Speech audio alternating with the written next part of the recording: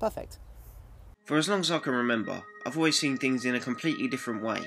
Like growing up, whenever something was on TV, I always thought that someone was there just in time, just to make sure that, you know, they were there for our entertainment and not it was just cameras and editing and everything else.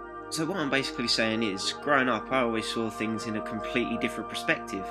Everything was always in a better light.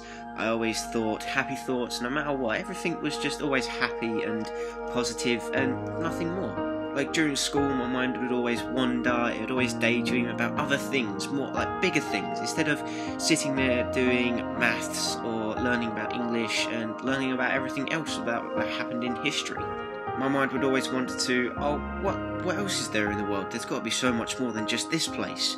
So every time I saw a map, it was just completely out. I was I was pretty much flabbergasted, for a word, that I just couldn't.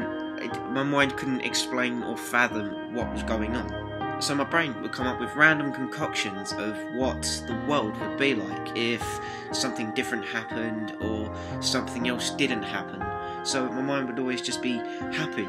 Now, with saying that, everything that went on in my mind, everything that was going on outside of my head, was completely different.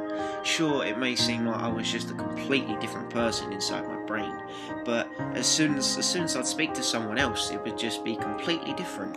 As a child, I was always mollycoddled, I was never allowed out of the house as much, so you could say my social skills weren't exactly that great.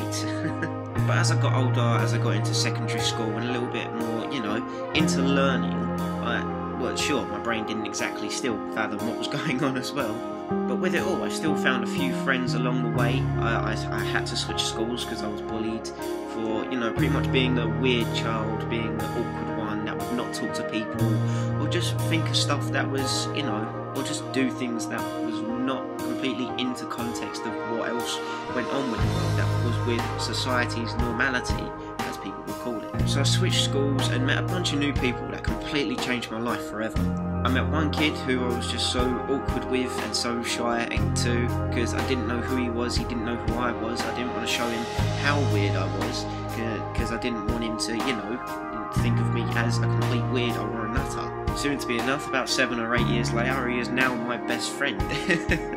but throughout the years, I have noticed that hiding yourself and not not showing pretty much who you are is stupid and should not actually happen.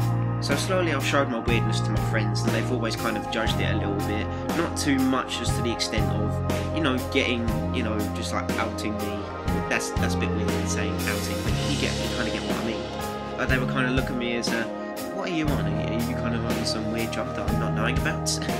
but over the last few weeks I've kind of noticed that if I show them my complete weirdness then I, they won't judge me because I'm just as weird as a few of them.